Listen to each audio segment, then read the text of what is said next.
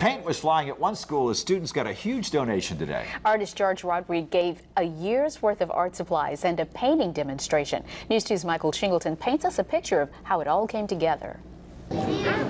It's a rare treat at Dufrocq Elementary when these students get a break from their normal day, especially when world-renowned painter George Rodrigue puts together a blue dog just for them. But George wasn't the only one painting. Each student filed in one by one, putting on their aprons. All right, Joshua. and getting started. Before they began, they all had one painting in mind. Blue dog. A cat. The cat. I'm making a rainbow. A rainbow. well, maybe not one painting. Whether it's a blue dog or a blue, black, green, and red dog, Rodrigue says teaching art at such a young age is more than just painting. It teaches them that uh, you know when you grow up, you can do be, be anything you want. You know, you can be an artist. You can you can be a carpenter. You can be a janitor. You can be anything you want. Someone like me came from New Iberia, Louisiana, just started painting, and I'm still painting.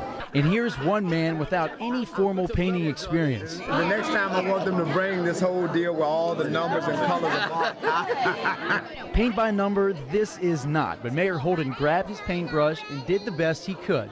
Like Rodrigue, he also sees the potential in all of these kids. We're capturing young people at an age that makes a difference instead of them being influenced by somebody who may send them in the wrong direction. Of course, I couldn't leave without painting my own, right? What's the key here, Jacques? It all starts with the nose. The nose, huh? So you start with the nose, then the face, eyes, mouth, and body, and you can't forget the Channel 2 microphone. So it's not quite as easy as it looks. Sometimes you start with the ears way too big, but in the end, doesn't look half bad.